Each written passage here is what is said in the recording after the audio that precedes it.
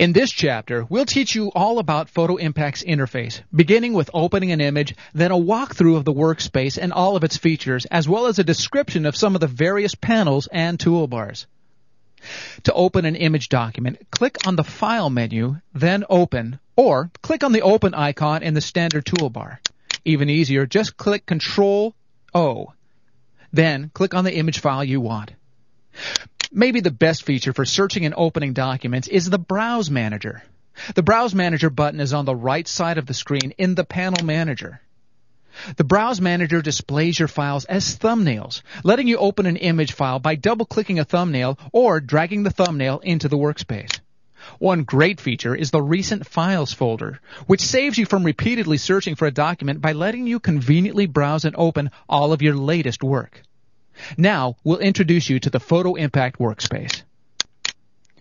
At the top of the interface, you'll find a traditional Windows style menu bar where you can access all of PhotoImpact's features. Just below that, you'll find the standard toolbar with buttons that give you access to the most common features, including tools for acquiring images from scanners and digital cameras, as well as other features. Just below the standard toolbar is the attribute toolbar, and next to it on the left side is the tool panel. These two toolbars work together. The tool panel contains all of the tools that you'll need for manipulating and adjusting your images, and the attribute toolbar lets you adjust how those tools work. Click on a few of the tools and you'll notice that the face of the attribute panel actually changes to allow you to adjust each of these tools. In the next few chapters, you'll learn a lot more about how these tools work. Some of the features in the tool panel have a submenu with additional tools. To access these tools, click on the small triangle icon on the lower right of the button.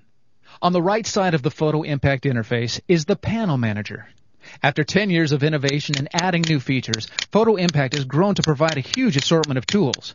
The Panel Manager has been cleverly designed specifically to make them easy and convenient to access. Each one of the buttons represents a panel of tools or a full range of easy to use features. For instance, click on the top button to open the Layer Manager. This panel displays all of the objects that are present in your active document as individual thumbnails. By the way, you'll be learning a lot more about objects in Chapter 6 of this tutorial. The third button is for the Document Manager, which helps you keep track of all of your open documents by displaying them as thumbnails. When you have a set of open documents, this panel makes it easy to switch between them. You can click a document thumbnail to bring it to the top of the workspace. Or you can shuffle through your open images by pressing Control plus Tab. PhotoImpact lets you set up the workspace to fit the way that you work best.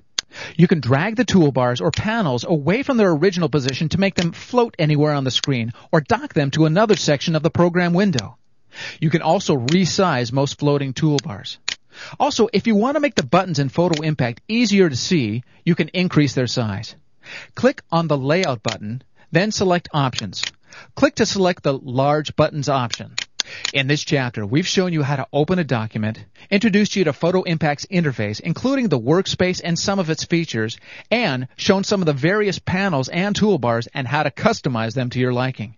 In the next chapter, we'll introduce you to two very special features in PhotoImpact, the Quick Command Panel and the Easy Palette.